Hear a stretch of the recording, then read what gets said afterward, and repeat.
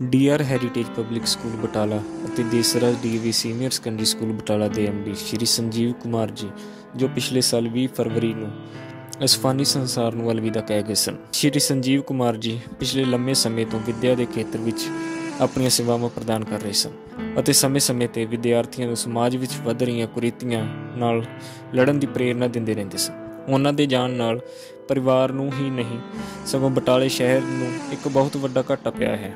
ਉਹਨਾਂ ਦੀ ਕਮੀ ਸਕੂਲ ਦਾ ਸਮੂਹ ਸਟਾਫ ਅਤੇ ਇਲਾਕਾ ਨਿਵਾਸੀ ਅੱਜ ਵੀ ਮਹਿਸੂਸ ਕਰਦੇ ਹਨ। ਸ਼੍ਰੀ ਸੰਜੀਵ ਕੁਮਾਰ ਦੀ ਜੀ ਯਾਦ ਅੰਦਰ, ਉਹਨਾਂ ਦੇ ਮਾਤਾ ਸ਼੍ਰੀਮਤੀ ਸੁਰਿੰਦਰ ਕੁਮਾਰੀ ਜੀ, ਉਹਨਾਂ ਦੀ ਪਤਨੀ ਮੈਡਮ ਹਰਪ੍ਰੀਤ ਜੀ, ਸਕੂਲ ਦੇ ਸਮੂਹ ਸਟਾਫ ਅਤੇ ਬੱਚਿਆਂ ਵੱਲੋਂ ਉਹਨਾਂ ਨੂੰ ਯਾਦ ਕਰਦਿਆਂ ਨਮ ਅੱਖਾਂ ਨਾਲ ਸ਼ਰਧਾਂਜਲੀ ਸਮਰਪਿਤ ਕੀਤੇ ਗਏ ਅਤੇ ਕੀਰਤਨ ਕਰ ਉਹਨਾਂ ਦੀ ਰੂਹ ਦੀ ਸ਼ਾਂਤੀ ਲਈ ਅਰਦਾਸ ਕੀਤੀ ਗਈ। ਸਭ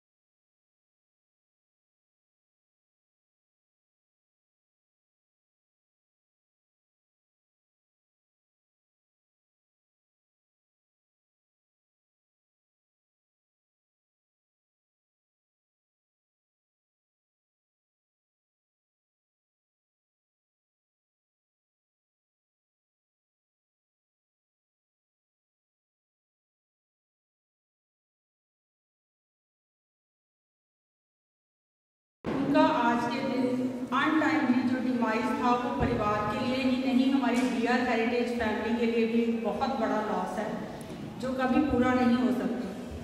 कभी कभी मीटिंग्स में बैठते थे जब सर के साथ तो वो बहुत ही अपने फ्यूचर की प्लानिंग स्कूल की कैसे तरक्की करनी है, मैं क्या क्या करना चाहता हूँ स्कूल में, अक्सर बातें करते रहते थे।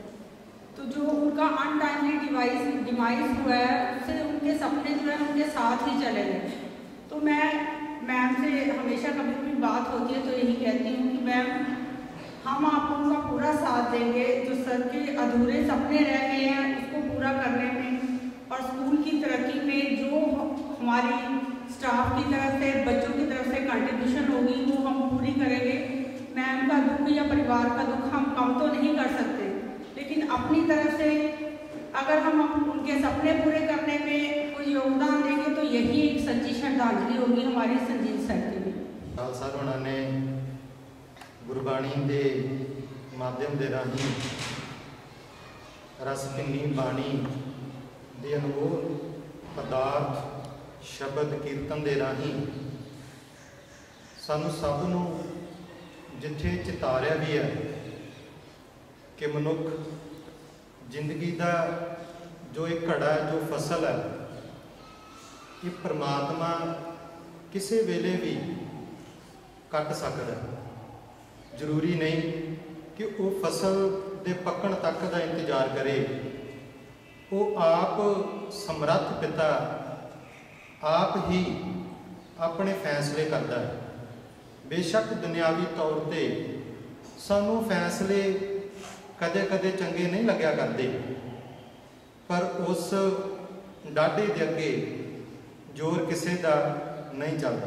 ਨੂੰ ਸਾਨੂੰ ਅਲਵਿਦਾ, ਪਰਿਵਾਰ ਨੂੰ ਅਲਵਿਦਾ ਕਹਿ ਕੇ ਤੁਰ ਗਏ।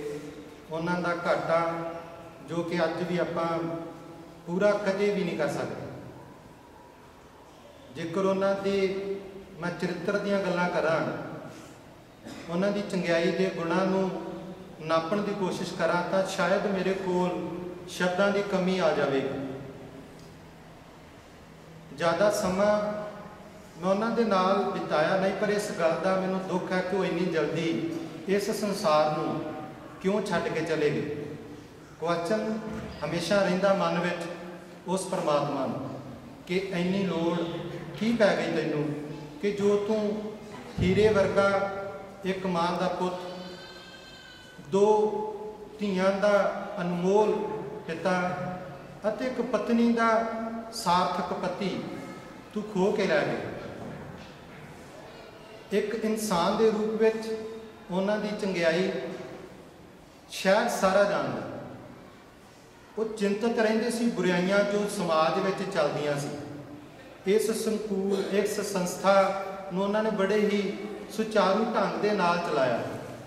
ਅਤੇ ਉਹ ਜਦੋਂ ਵੀ ਕਿਤੇ ਉਹਨਾਂ ਨੂੰ ਵਿਹਲਾ ਸਮਾਂ ਮਿਲਦਾ ਤਾਂ ਉਹ ਆਪਣੇ ਸਕੂਲ ਦੇ ਇਸ ਸੰਸਥਾ ਦੇ ਬੱਚਿਆਂ ਨੂੰ ਸਮਾਜਿਕ ਬੁਰਾਈਆਂ ਤੋਂ ਕੁਰੀਤੀਆਂ ਤੋਂ ਹਮੇਸ਼ਾ ਜਾਣੂ ਕਰਾਉਂਦੇ ਰਹਿੰਦੇ ਤੇ ਬੱਚਿਆਂ ਨੂੰ ਗਾਈਡ ਕਰਦੇ ਰਹਿੰਦੇ ਕਿ ਇਹਨਾਂ ਤੋਂ ਆਪਾਂ ਬਚਣਾ ਕਿਵੇਂ।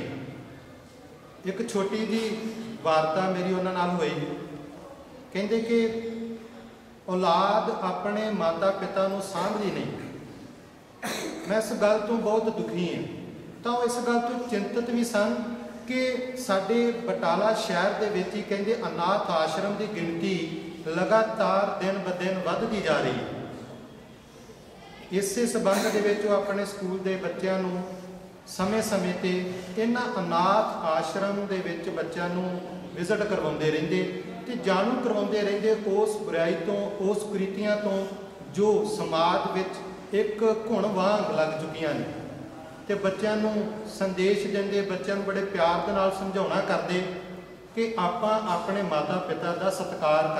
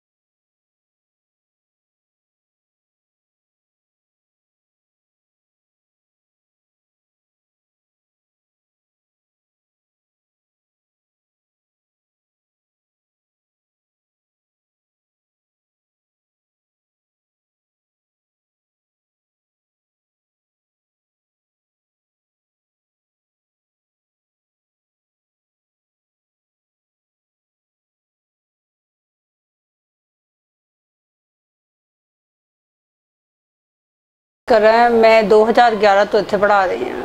ਸਰ ਦਾ ਸੁਭਾਅ ਇਦਾਂ ਦਾ ਸੀ ਕਿ ਉਹ ਟ੍ਰੈਡੀਸ਼ਨ ਦੇ ਨਾਲ ਨਾਲ ਟੈਕਨੋਲੋਜੀ ਵੀ ਜਿਹੜੀ ਹੈ ਉਹ ਚਾਹੁੰਦੇ ਸੀ। ਸਮੇਂ-ਸਮੇਂ ਤੇ ਸਕੂਲ ਦੇ ਵਿੱਚ ਬੱਚਿਆਂ ਨੂੰ ਟ੍ਰੈਡੀਸ਼ਨਸ ਦੇ ਬਾਰੇ ਆਪਣੇ ਦੱਸਦੇ ਰਹਿੰਦੇ ਸੀ। ਜਿਵੇਂ ਵੱਡਿਆਂ ਦਾ ਕਿਵੇਂ ਆਦਰ ਕਰਨਾ ਚਾਹੀਦਾ ਹੈ, ਸਮਾਜ 'ਚ ਸਾਨੂੰ ਕਿਵੇਂ ਰਹਿਣਾ ਚਾਹੀਦਾ ਹੈ, ਕਿਹੜੀਆਂ ਕੁਰੀਤੀਆਂ ਤੋਂ ਬਚ ਕੇ ਰਹਿਣਾ ਚਾਹੀਦਾ ਹੈ। ਤੇ ਨਾਲ ਨਾਲ ਹੀ ਉਹਨਾਂ ਨੂੰ ਇਹ ਵੀ ਸੀ ਕਿ ਜਿਹੜੀਆਂ ਨਵੀਆਂ ਟੈਕਨੋਲੋਜੀਜ਼ ਪੜ੍ਹਾਈ ਦੇ ਵਿੱਚ ਇੰਟਰੋਡਿਊਸ ਕੀਤੀਆਂ ਜਾ ਰਹੀਆਂ ਮੈਂ ਸਾਰੀਆਂ ਆਪਣੇ ਸਕੂਲ 'ਚ ਲੈ ਕੇ ਆਵਾਂ ਤਾਂ ਕਿ ਬੱਚੇ ਉਹਦਾ ਫਾਇਦਾ ਉਠਾ ਸਕਣ। ਸਮਾਜ 'ਚ ਉਹਨਾਂ ਦੀ ਪਹਿਚਾਣ ਇੱਕ ਦਾਨੀ ਇਨਸਾਨ ਦੇ ਤੌਰ ਤੇ, ਦੁੱਖ ਦਰਦ ਸਮਝਣ ਵਾਲੇ ਇਨਸਾਨ ਦੇ ਤੌਰ ਤੇ ਸੀ। ਜਿਹੜੇ ਵੀ ਸਾਡੇ ਸਕੂਲ 'ਚ ਨੀਡੀ ਬੱਚੇ ਪੜ੍ਹਦੇ ਉਹਨਾਂ ਦੇ ਪੇਰੈਂਟਸ ਜਦੋਂ ਕੋਈ ਫੀਸਾਂ 'ਚ ਕੁਝ ਉਹਨਾਂ ਨੇ ਕੰਸੈਸ਼ਨ ਲੈਣੀ ਜਾਂ ਕੋਈ ਹੋਰ ਉਹਨਾਂ ਨੂੰ ਕੋਈ ਦੁੱਖ ਤਕਲੀਫ ਹੋਣੀ ਤੇ ਸਰ ਉਹਨਾਂ ਨੂੰ ਬਹੁਤ ਧਿਆਨ ਨਾਲ ਸੁਣਦੇ ਤੇ ਆਪਣੇ ਵੱਲੋਂ ਜੋ ਹਰ ਸੰਭਵ ਮਦਦ ਹੁੰਦੀ ਉਹਨਾਂ ਦੀ ਕਰਦੇ। ਉਹਨਾਂ ਦੀ ਘਾਟ ਤਾਂ ਕਦੀ ਪੂਰੀ ਨਹੀਂ ਕੀਤੀ ਜਾ ਸਕਦੀ। ਸਾਡੇ ਪ੍ਰਿੰਸੀਪਲ ਮੈਮ ਜਿਹੜੇ ਉਹਨਾਂ ਦੇ ਸੁਪਤਨੀ ਨੇ, ਉਹਨਾਂ ਨੇ ਪੂਰੀ ਕੋਸ਼ਿਸ਼ ਕੀਤੀ ਹੈ ਕਿ ਜਿਵੇਂ ਉਹ ਸਟਾਫ ਦੇ ਨਾਲ, ਬੱਚਿਆਂ ਦੇ ਨਾਲ ਰਹਿੰਦੇ ਸੀ, ਜੋ ਉਹਨਾਂ ਵਾਸਤੇ ਕਰਨਾ ਚਾਹੁੰਦੇ ਸੀ, ਮੈਂ ਵੀ ਕਰਾਂ। ਔਰ ਸਾਰਾ ਸਟਾਫ ਵੀ ਜਿਹੜਾ ਤਹਿ ਦਿਲੋਂ ਮੈਡਮ ਦੇ ਨਾਲ ਸਹਿਯੋਗ ਕਰ ਰਿਹਾ ਹੈ ਕਿ ਸਰ ਦੇ ਜਿਹੜੇ ਸੁਪਨੇ ਅਧੂਰੇ ਰਹਿ ਗਏ ਆ, ਉਹ ਅਸੀਂ ਪੂਰੇ ਕਰ ਸਕੀਏ। ਮੇਰਾ ਨਾਮ ਅਕਵਿੰਦਰ ਕੌਰ ਹੈ। ਮੈਂ ਇੱਥੇ ਜੌਬ ਕਰ ਰਹੀ ਹਾਂ। ਲਗਭਗ 13 ਸਾਲ ਹੋ ਗਏ ਮੈਨੂੰ ਇੱਥੇ ਜੌਬ ਕਰਦੇ ਹੋਏ। ਬਹੁਤ ਅੱਛਾ ਐਕਸਪੀਰੀਅੰਸ ਰਿਹਾ ਸਰ ਸਰ ਦਾ ਨੇਚਰ ਬਹੁਤ ਹੀ ਅੱਛਾ ਸੀਗਾ। ਬਹੁਤ ਹੀ ਮਿਲਨਸਾਰ ਔਰ ਬਹੁਤ ਹੀ ਹੈਲਪਫੁਲ ਸੀਗੇ। ਸਭ ਦੀ ਬਹੁਤ ਹੈਲਪ ਕਰਦੇ ਸੀ। ਟੀਚਰਸ ਦਾ ਬਹੁਤ ਰਿਕਾਰਡ ਕਰਦੇ ਸੀ। ਬੱਚਿਆਂ ਨਾਲ ਬਹੁਤ ਪਿਆਰ ਕਰਦੇ ਸੀਗੇ। ਬੱਚਿਆਂ ਨੂੰ ਸਟੱਡੀ ਵਾਸਤੇ ਬਹੁਤ ਮੋਟੀਵੇਟ ਕਰਦੇ ਸੀਗੇ। ਸਰ ਉਹ ਆਪਣੇ ਮਦਰ ਦੀ ਫਾਦਰ ਦੀ ਬਹੁਤ ਰਿਸਪੈਕਟ ਕਰਦੇ ਸੀ। ਆਪਣੀ ਉਹਨਾਂ ਦੀਆਂ ਦੋ ਸਿਸਟਰਸ ਨੇ, ਇੱਕ ਵੱਡਾ ਬ੍ਰਦਰ ਹੈ ਉਹਨਾਂ ਦਾ, ਜੋ ਦਿੱਲੀ 'ਚ ਰਹਿੰਦੇ ਆ। ਉਹਨਾਂ ਨਾਲ ਵੀ ਬਹੁਤ ਪਿਆਰ ਸੀ ਉਹਨਾਂ ਦਾ। ਔਰ ਇੱਥੇ ਸਟੂਡੈਂਟਸ ਨੂੰ ਟਾਈਮ ਟੂ ਟਾਈਮ ਬ੍ਰਿਧ ਆਸ਼ਰਮ 'ਚ ਔਰ ਅਨਾਥ ਆਸ਼ਰਮ 'ਚ ਵੀ ਲੈ ਕੇ ਜਾਂਦੇ ਸੀ। ਬੱਚੇ ਨੂੰ ਇਹ ਦੱਸਣ ਵਾਸਤੇ ਕਿ ਦੇਖੋ, ਬੱਚ- ਇਹਨਾਂ ਅਹ ਦੇ ਮਾਂ- ਮਤਲਬ ਬੱਚੇ ਹੈਗੇ ਆ। ਉਹਦੇ ਬਾਵਜੂਦ ਉਹਨਾਂ ਨੇ ਉਹਨਾਂ ਨੂੰ ਇੱਥੇ ਛੱਡ ਦਿੱਤਾ ਵਿਰਧ ਆਸ਼ਰਮ 'ਚ, ਤੇ ਤੁਸੀਂ ਇਸ ਤਰ੍ਹਾਂ ਬਿਲਕੁਲ ਨਾ ਕਰਨਾ। ਮਾਂ-ਬਾਪ ਤੋਂ ਵੱਧ ਕੇ ਕੋਈ ਨਹੀਂ ਹੈ। ਮਾਂ-ਬਾਪ ਦਾ ਆਦਰ ਸਨਮਾਨ ਕਰੋ। ਉਹਨਾਂ ਨੂੰ ਬੁਢਾਪੇ ਵਿੱਚ ਸੰਭਾਲੋ। ਇਹ ਹਮੇਸ਼ਾ ਉਹ ਬੱਚਿਆਂ ਨੂੰ ਮੋਟੀਵੇਟ ਕਰਦੇ ਸੀ ਇਸ ਬਾਰੇ। ਸਾਡੀ ਡਿਊਟੀ ਹੈ ਕਿ ਅਸੀਂ ਉਹਨਾਂ ਦੀ ਫੈਮਿਲੀ ਨਾਲ ਕੋਆਪਰੇਟ ਕਰੀਏ। ਅਸੀਂ ਹਮੇਸ਼ਾ ਤੋਂ ਪਹਿਲਾਂ ਵੀ ਕਰਦੇ ਰਹੇ ਹਾਂ ਔਰ ਹੁਣ ਤੇ ਹੋਰ ਸਾਡੀ ਡਿਊਟੀ ਵੱਧ ਗਈ ਹੈਗੀ ਹੈ ਸਰ ਦੇ ਜਾਣ ਦੇ ਬਾਅਦ। ਤੇ ਅਸੀਂ ਪੂਰਾ ਕੋਆਪਰੇਟ ਸਾਰੇ ਟੀਚਰਸ ਕਰਦੇ ਹਾਂ। ਸਾਰਾ ਟੀਚਰਸ ਬਹੁਤ ਅੱਛੇ ਨੇ ਔਰ ਪ੍ਰਿੰਸੀਪਲ ਮੈਡਮ ਜੋ ਉਹਨਾਂ ਦੀ ਵਾਈਫ ਨੇ ਮਿਸੀ ਮਿਸਿਸ ਹਰਪ੍ਰੀਤ ਕੌਰ ਉਹ ਵੀ ਬਹੁਤ ਹੀ ਨਾਈਸ ਹੈਗੇ ਨੇ, ਉਹ ਸਾਡੇ ਨਾਲ ਫੈਮਿਲੀ ਵਰਗਾ ਬਿਹੇਵ ਕਰਦੇ ਨੇ। ਅਸੀਂ ਐਜ਼ ਅ ਫੈਮਿਲੀ ਇੱਥੇ ਕੰਮ ਕਰ ਰਹੇ ਹਾਂ। ਅਸੀਂ ਬਹੁਤ ਹੀ ਸਾਰਾ, ਸਾਰੇ ਟੀਚਰਸ ਬਹੁਤ ਕੋਆਪਰੇਟਿਵ ਹੈਗੇ ਨੇ। ਜੋ ਵੀ ਸਾਡੇ ਸਕੂਲ ਦਾ ਕੰਮ ਹੁੰਦਾ ਸੀ, ਸਾਰੇ ਬਹੁਤ ਵਧੀਆ ਤਰੀਕੇ ਨਾਲ ਕਰਦੇ ਹਾਂ।